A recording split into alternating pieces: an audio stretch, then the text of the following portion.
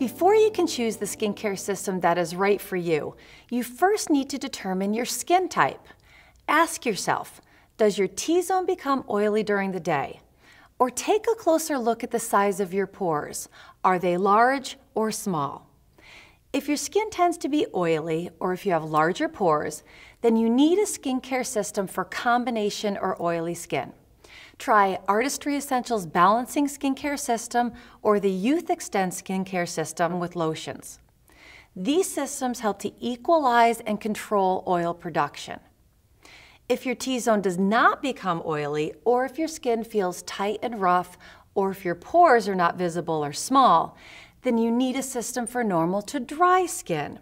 Try Artistry Essentials Hydrating Skincare System or the Youth Xtend skincare system with the creams.